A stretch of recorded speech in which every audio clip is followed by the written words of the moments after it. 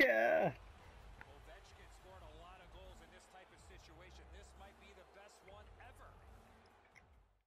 All right, guys. So today I'm going to be talking about the behind the back one hander deke. If you played NHL 14, uh, the controls are pretty much exactly the same, and you've probably seen this deke before. Um, it's probably the biggest fancy boy deke in the game. Um, it's pretty difficult uh, to get used to pulling off, um, but I'm going to show you guys how to do it today. There's also this variation of the deke where you don't go behind your back, but it is the same controls. Um, so here you're going to roll your right stick down to about 5 o'clock for a right-hander, 7 o'clock for a lefty.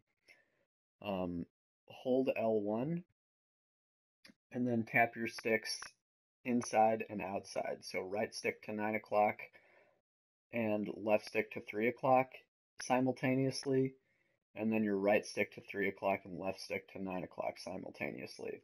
So it sounds very complicated. Um, once you get used to it, though, it's really not too difficult. Uh, the hardest thing is going to be um, actually timing it right in game to beat defenders, which I'm going to show you guys how to do here. So if you want to look at my sticks at the bottom right of the screen, uh, you'll see the sticking here. So down to 5 o'clock, hold L1, and then sticks inside, and then sticks outside. Obviously, if you're a left-hander, it's going to be down to 7 o'clock with the right stick, hold L1, and then sticks outside and inside, as opposed to, you know, as a right-hander going inside then outside. And you, you actually can do this deke, if you saw there, um,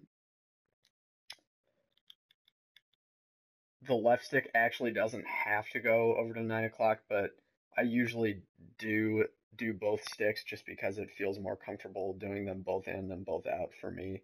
Um, but the left stick, you can actually just leave it on the right side there and then go left right with the right stick if you want, if that's easier for you.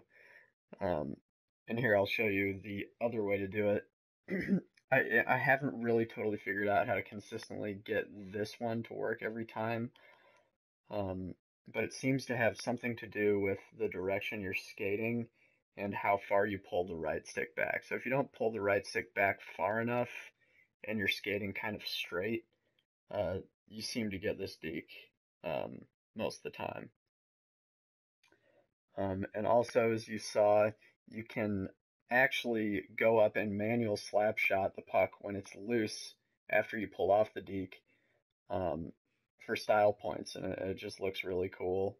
And uh, in that first clip that I showed, I uh, was able to pull it off in a shootout against a human goalie. So anyway, here's a couple clips um, of me and some of my teammates using it in game. Here I'm using it in the neutral zone. The best way to pull this deke off is to make sure that you don't have any back checking. So if there's anyone behind you, they're probably going to poke the puck away.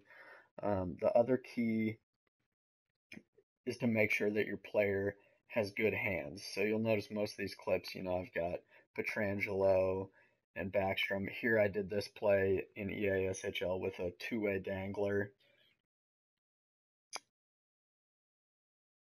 But yeah, you need you need a high skilled player to pull this off here with Backstrom in the shootout. And you need lots of lots of space, lots of time. Here with Gaudreau, entering the zone, I found it it works pretty well. I was almost able to get a couple really pretty goals off of it. So yeah, uh, I mean, I'd say most of the time I really don't end up getting much good out of this deke. But when you do pull it off, it's just awesome. Here I just absolutely undress this guy at the blue line. It's one of the most satisfying dekes to pull off when you beat a guy with it. Here I wanted this so bad.